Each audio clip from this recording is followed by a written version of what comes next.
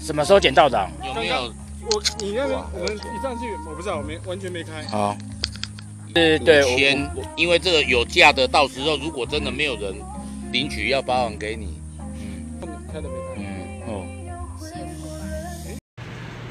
民众于鹿野高台热气球会场花草区附近捡到一个 LV 的皮夹，本所除依规定受理外，还立即以现场扩音播报及到邻近商家及游客中心询问，反锁后依证件查询，但去店均无人接听，最终请发卡银行透过发送简讯通知失主，他这才发现皮夹遗失，并立即从台东市区返回至本所领取。